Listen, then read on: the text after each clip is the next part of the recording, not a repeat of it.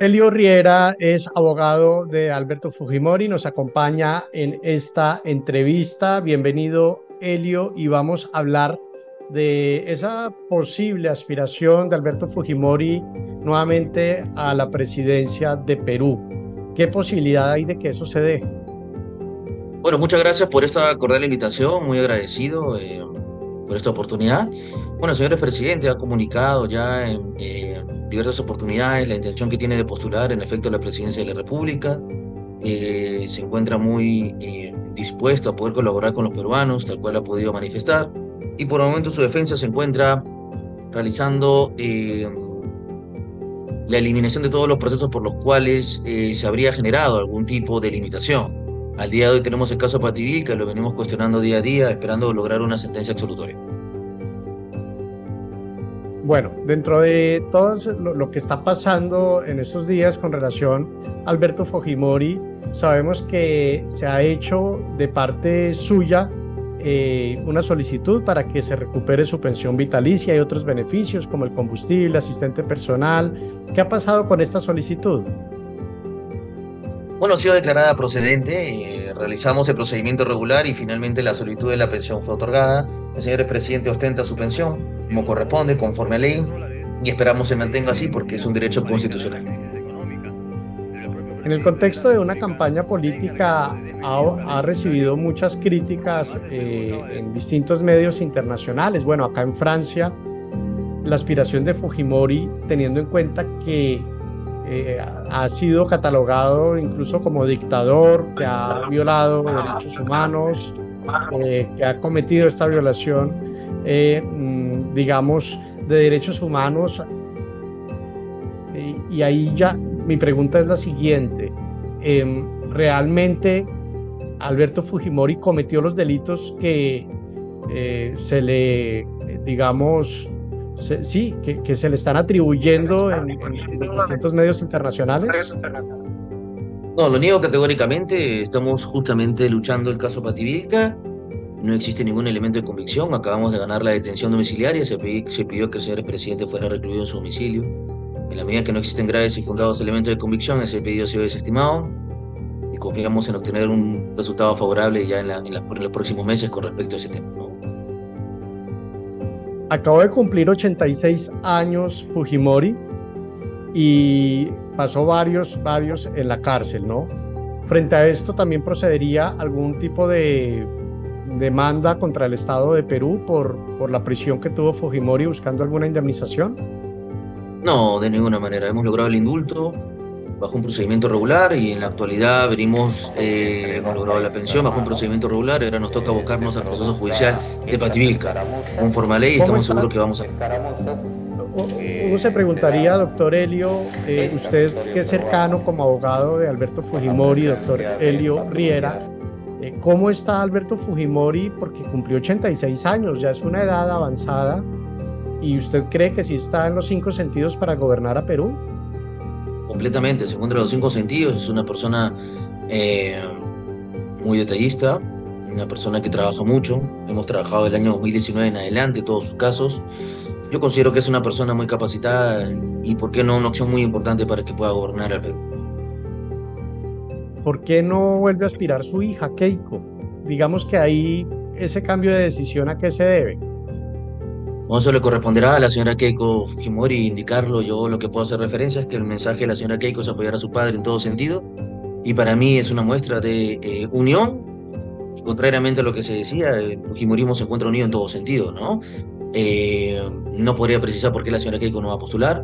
Eh, considero que es una líder, considero que es una mujer ejemplar, considero que es una persona muy capacitada, una mujer muy emprendedora, eh, definitiva sería una, definitivamente sería una acción muy importante, pero desde ya representa como tal a la mujer peruana, eh, materializado en la presidencia de un partido político que es una institución, una de las más fuertes como tal, como institución política al día de hoy, ¿no? Digamos que en el escenario histórico, recordemos que eh, Fujimori gobernó a Perú entre los años 90 y el 2000. En esta década su gobierno de una lucha también contra el terrorismo, el autoritarismo y la corrupción, y luego vendrían todos los procesos en donde pues se le, ya se, le imputa el tema de, la violación de los derechos humanos, que es el asesinato de algunas personas en medio de toda esta situación que se dio de civiles inocentes. Ahora, la pregunta acá es la siguiente. Con el clima político que se vive hoy en Perú, con esa inestabilidad, con un Pedro Castillo en la cárcel, una Dina Baluarte que está siendo cuestionada e investigada por la Fiscalía, ¿usted cree que Perú requiere nuevamente ese autoritarismo que, tuvo Fujimori en los años 90 nuevamente requiere esa mano dura, esa fuerza militar en las calles? No, de ninguna manera yo no considero que haya desestabilidad. El dólar, la moneda del sol, no se encuentra afectada. El BCR, que es la institución bancaria aquí que representa los intereses de Perú, es una de las instituciones más fuertes. Los reguladores, Indecopi, Citel, como tal, son independientes. El Tribunal Constitucional es independiente. No, yo no considero que exista una desestabilidad, hay, que existan hay, posiciones hay políticas. estabilidad económica, pero y tal vez jurídica, pero no política, ¿no? Me refiero a, al tema presidencialista, por ejemplo. Eh, pues no sé, ¿no? Eh, ¿Cómo, ¿Cómo, ve el gobierno de Dina? ¿Lo ve bien? ¿Lo está haciendo bien? Pero es que, lógicamente, porque yo no soy eh, una persona que sea a favor del partido político de la señora Dina Boluarte, pero veo si el Estado peruano como tal se encuentra equilibrado, no veo como tal un desequilibrio económico, jurídico, veo respeto a las instituciones. Posiblemente tenga una discrepancia con respecto al tema de las funciones, pero eso no quiere decir de que el país se encuentre desestabilizado. Hubo una crítica, por ejemplo, con respecto al programa de la señora Dina Boluarte porque no hay una aprobación de ley de indultos, hay gente que se muere en las cárceles, pero eso no quiere decir de que, de que me encuentre en desacuerdo con respecto a su manejo de político. Yo considero que el país se encuentra estable, bien, fuerte y como está creciendo, ¿no?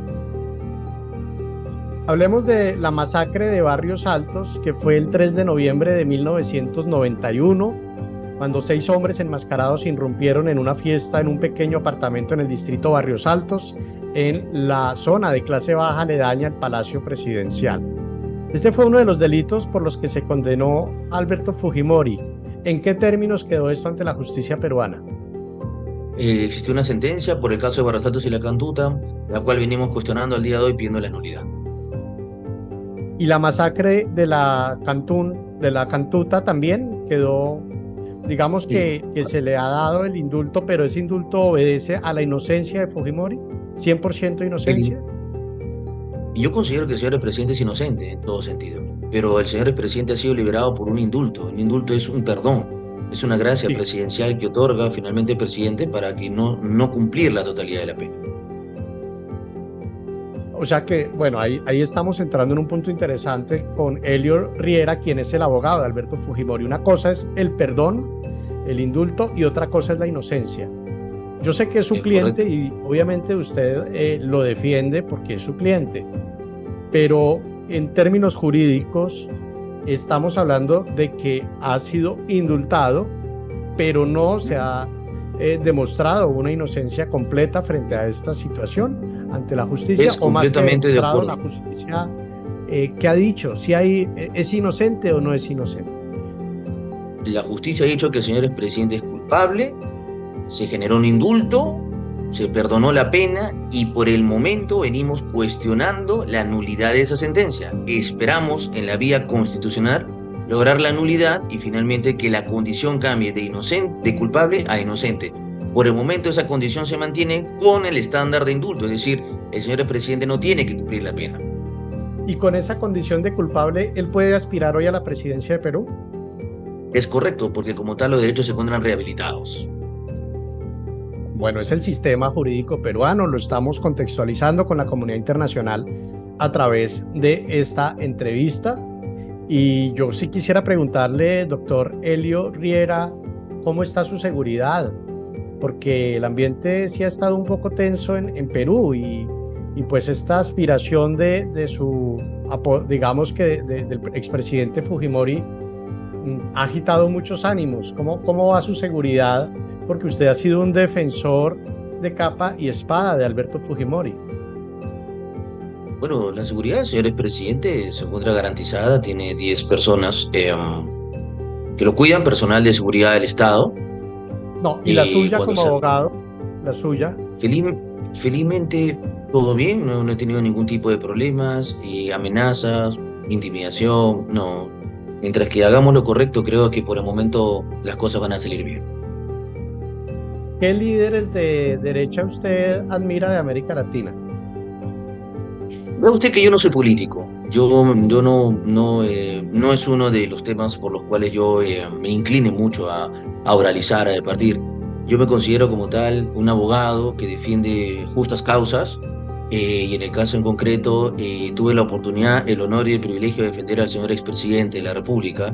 Eh, no puedo descartar también el hecho de que como un joven abogado tenga un interés o, o, tal vez una orientación, como por ejemplo las políticas económicas que está haciendo el, el, presidente Milei en Argentina. No puedo negar, definitivamente no puedo negarlo, porque ese tipo de reformas a veces es necesaria para lograr una estabilidad, ¿no? o el caso de, eh, ¿por qué no el presidente Bukele cuando hace referencia a necesidad con respecto al ordenamiento y la seguridad estatal? Son políticas interesantes que han sido utilizadas por el señor expresidente Alberto Fujimori en el año 92 y veo que esas réplicas al día de hoy dan resultados tal. Eh, no, no soy político, pero sí admiro como tal las políticas que buscan orientar y generar estabilidad en un país. Bueno, sí, eh, claramente eh, usted es el abogado de Alberto Fujimori. Eh, uno puede tener alguna tendencia ideológica, pero su tema es la jurisprudencia y está defendiendo a Alberto Fujimori. Su próximo gran reto va a ser que se ha declarado inocente, sigue siendo culpable, pero está con un indulto que le permite aspirar a la presidencia, Alberto Fujimori, que tiene, acaba de cumplir 86 años de edad, pero que se encuentra, eh, se encuentra según su abogado, Helio Riera, en toda la capacidad de gobernar a Perú. Y pues este ha sido un tema que por supuesto ha sido noticia internacional. Doctor Helio Riera, muchas gracias. Y no sé si tenga algo más que contarnos del proceso de Alberto Fujimori, una noticia reciente que podamos dar a través de esta agencia de noticias.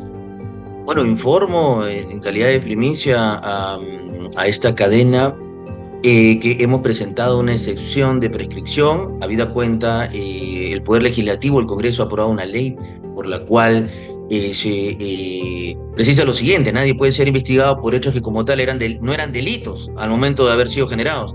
El señor presidente ha sido investigado por el caso Pativilca. En el año 92 no existía el delito de lesa humanidad pero yo sigo siendo investigado por ese delito. No puedo yo defender un delito que no existía en esa época. En atención a ello y en atención a esta ley que acaba de ser promulgada, hemos presentado la sección de prescripción y esperamos que el día de hoy sea resuelta en el más breve plazo y logremos archivar de forma definitiva el caso Pativilca. Eso lo informo en calidad de primicia para ustedes y desde ya pues agradecer como tal el seguimiento, las palabras de elogio. Ayúdanos a seguir con nuestra labor periodística a través de nuestro NEC y Plata 310-779-3518. Si te gusta nuestro contenido y no quieres perderte nada de la agenda alternativa, suscríbete a nuestro canal y activa la campana de notificaciones. Recuerda darle like a este video y por supuesto compartirlo con tus familiares, amigos y conocidos. Así juntos visibilizamos la Colombia profunda.